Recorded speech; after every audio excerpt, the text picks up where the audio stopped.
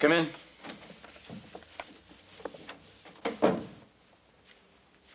What is it, Justin? I spoke to my father about what happened, what we did. I'm listening. Well, he was not happy. And uh, he said a lot of things. We both did.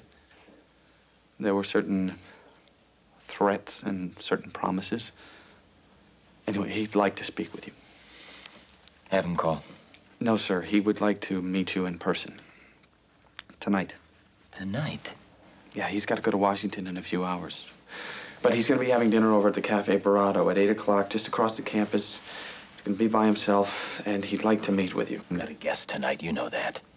Now, I can't walk out in the middle of class. But you could be back before the class was over, Professor. Look, I hope you don't think my father's trying to throw his weight around here. But in consideration for all the things that he's done for this university, he's hoping that you'll agree to meet with him. I'll, uh, I'll think about it, Justin. That's all I can ask. Thank you. Professor? Hmm? I am sorry.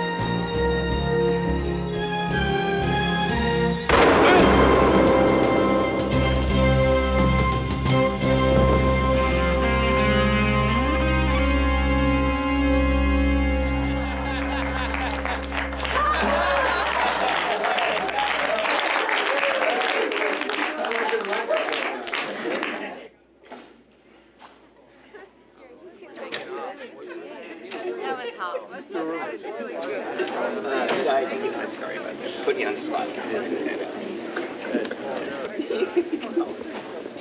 Hey, Lieutenant, why don't you come have a beer with us? Every Thursday night, we go out and try and gross each other out with different mystery stories we read. Well, that's a nice offer. Thank you very much. But I don't think I can. Oh, come on, Lieutenant. Uh, I feel kind of bad I didn't get a chance to say goodbye to Professor Rusk. Well, you see him next week. Was the uh, Devlin case the only time you're involved with the FBI, Lieutenant? Well, you know, I don't even remember the Devlin case. Oh, well, the Devlin case was the one where the jockey got strangled by the girlfriend who was in cahoots with the stable owner, and they were skimming off the track.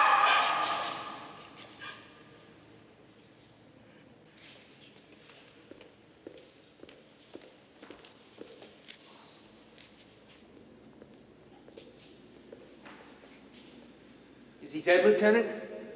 I'm afraid so. uh, Lieutenant, should I, should I go get some help? I can call 911.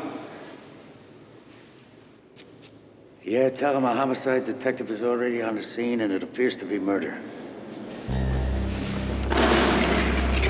Just one more thing.